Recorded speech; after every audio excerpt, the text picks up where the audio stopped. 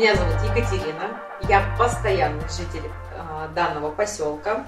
Ну, хотела бы, конечно, поздравить всех с наступившим Новым годом и пожелать нам всем, чтобы в текущем году наша жизнь двигалась в сторону комфорта, ну, естественно, у каждого благополучия, чтобы мы в нашем поселке ощущали только положительные эмоции. Чего бы мне хотелось? Увидеть э, в нашем поселке. То есть я каждый вечер с семьей, так, как, э, так же, как и многие жители ДНП, возвращаюсь э, в дом. Мне бы хотелось приготовить ужин, принять душ. Не всегда данные желания бывают осуществимы. Почему? Потому что у нас достаточно часто отсутствует электричество. С водой вроде как вода есть, но ее недостаточно для того, чтобы можно было принять душ. Меня зовут Елена. Мы с семьей живем постоянно в поселке. У нас есть участок 10 соток и дом а, в третьей очередь.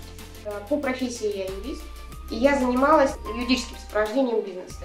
А, моя работа заключалась э, в снижении риска.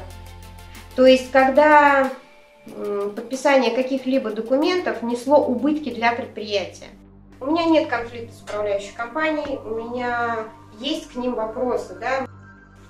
При покупке участка нас устроило, что мы заплатили вот 140 тысяч э, за сотку, а 700 тысяч это был целевой взнос за инфраструктуру. И эта инфраструктура уже была видна, да, то есть широкие дороги, КПП наличие там.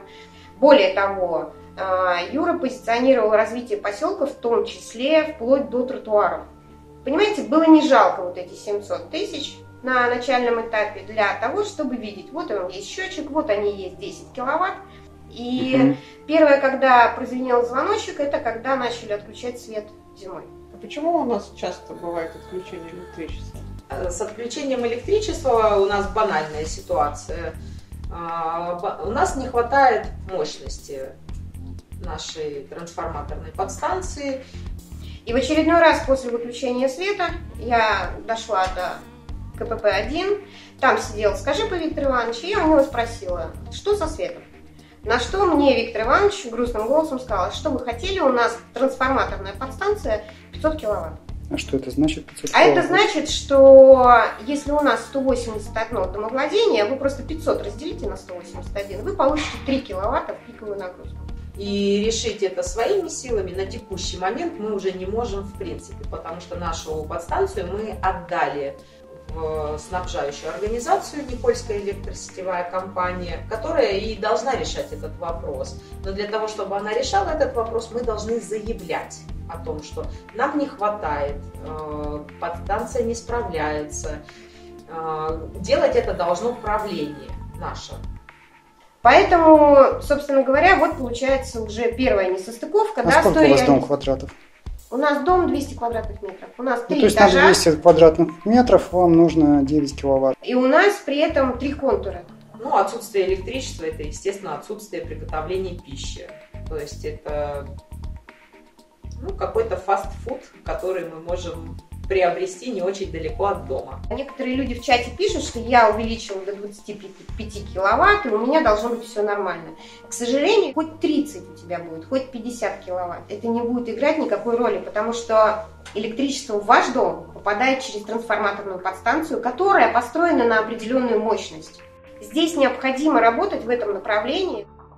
Насколько я знаю, ты хочешь э, баллотировать свою кандидатуру в качестве председателя нашего ДНП. А как ты видишь наше дальнейшее развитие?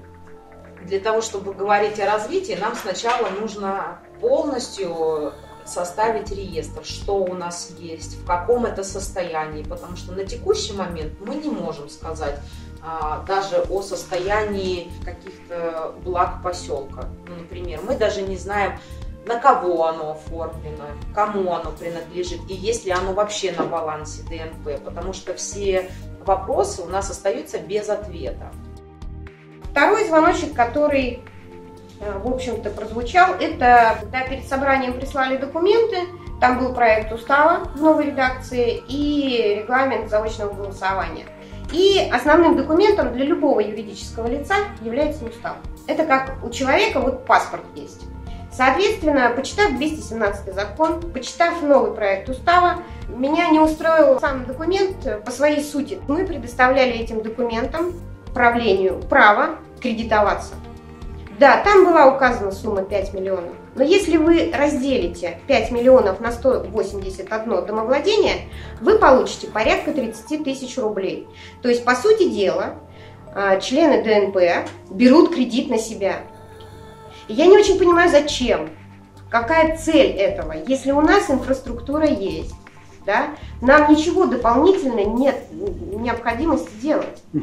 И третий момент очень сильно рисковый, это который, пункт, который касается того, что каждый член ДНП отвечает за убытки ДНП, связанные с кредитованием. Вот этот вот пункт, он ставит в прямую зависимость неисполнения по кредиту самим ДНП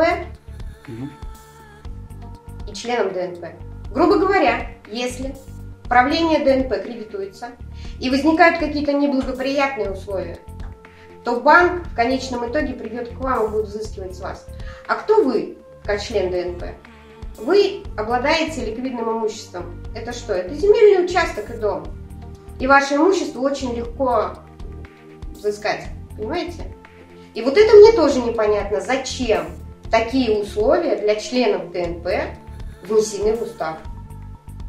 Поэтому вот это вот э, достаточно такие серьезные риски, которые могут коснуться каждого еще, чтобы хотелось в поселке улучшить, скажем так, нужно сделать прозрачную бухгалтерию. 400 вот конкретные, да, что конкретно я оплачиваю. Вот вы знаете, есть квитанции, да, когда вы платите квартплату в городе. И вот в этой квитанции есть все. Вплоть до радиоантенны. Чтобы мы понимали, что мы собрали вот конкретную сумму, мы именно эту конкретную сумму и потратили, не закладывая туда какие-то мифические проценты, просто увеличение, плюс там процент на несобираемость, плюс еще что-то. И по итогу вроде как даже с этими увеличениями нам еще и не хватило. Та смета, которую прислала правление, да, она предусматривает бюджет месячный на 30 дней, месяц. 675 тысяч. И этот бюджет, он делится на две части, грубо говоря. Первая часть это содержание, да, допустим, обеспечение там КПП, э, вывоз мусора, там, освещение внутри, да, э, оно составляет 327 тысяч. 347 тысяч мы платим за управление.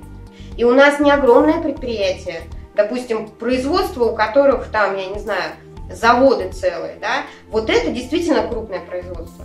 Мы маленькие, нам нужно обеспечить буквально там несколько договоров да, с ежемесячной оплатой для того, чтобы обеспечить содержание.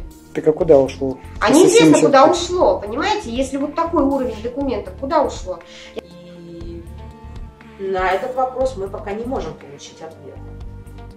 Что ты считаешь по вопросу безопасности в нашем поселке? Как она обеспечивается ли у нас? Ну, мы все помним события прошлой зимы, когда говорилось о том, что у многих жителей вскрывали дома. Это все говорит о чем? Это все говорит о том, что ни один житель ДНП не может чувствовать себя в безопасности. Тогда же выяснилось и следующее обстоятельство, что наше охранное предприятие у нас охраняет только шлагбаум камеры, которые у нас стоят на определение скорости, они фиксируют только скорость и ничего более. Ну, то есть это вроде как полезно-бесполезная штука. Пока у нас находится брешь в заборах вокруг ДНП, смешно говорить о том, что у нас есть какая-то охрана. Катя, ты не могла бы немного рассказать о себе, чем ты занимаешься? А, у меня семья, двое детей, муж. А, я работаю в крупной строительной компании. В компании я раньше занималась вселением людей, а также решением конфликтных ситуаций. А, сейчас я занимаюсь договорами, регистрацией договоров. И, в принципе, считаю, что можно с любым человеком найти общий язык.